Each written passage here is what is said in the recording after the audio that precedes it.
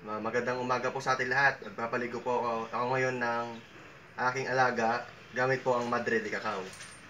Ah, maganda po kasi ito sa balat ng alaga nating alaga nating aso. Kasi po maraming marami po siyang nagagamot na skin disease. Sa hindi po nakakaalam ng mga ng Madre de Cacao, ganito po ang itsura niya.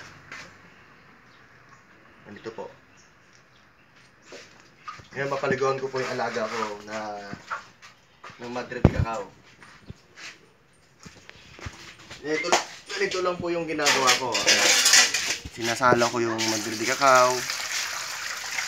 Hinaluan ko po ito ng unting tubig. Napaligo ko sa kanya.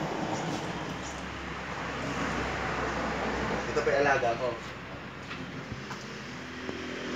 Ang bull crossbreed ng pitbull.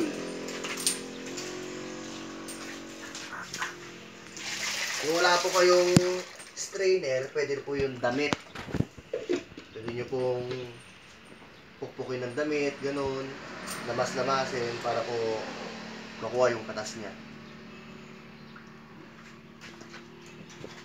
Bingo.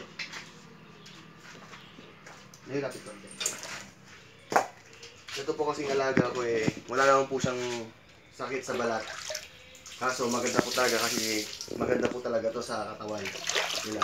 Lalo na sa mga balat nila, sa balahibo. Marami pong marami pong maga, nagagamot na sakit itong Madre de Cacao.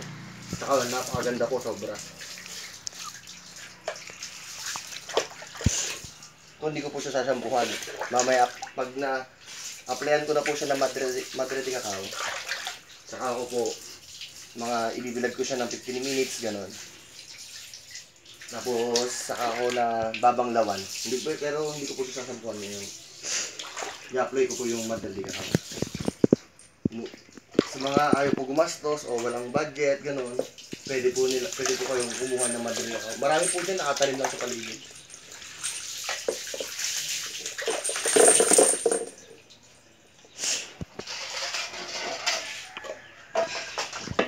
Simple-simple lang po i-apply nyo lang po sa katawan niya. Mas maganda po puro. Yung anak ko lang po kasi nilagyan ng tubig. Kaya ang dami na ito. Pero okay lang naman po. Pero mas maganda po yung puro talaga. Meron po sa online, nakikita ko, merong mga nagtitinda ng material ko na shampoo, gamot. Pero ako po, ganito po ginagawa sa alaga ko.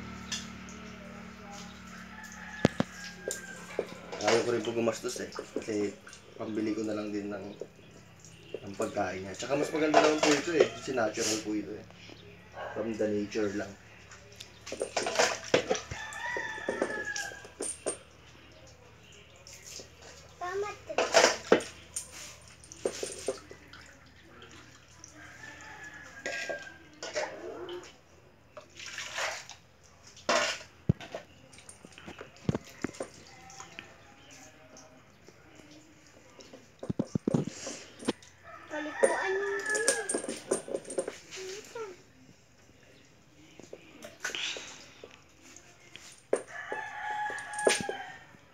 Yan, tsaka ko po siya bibilad ng 10 minutes.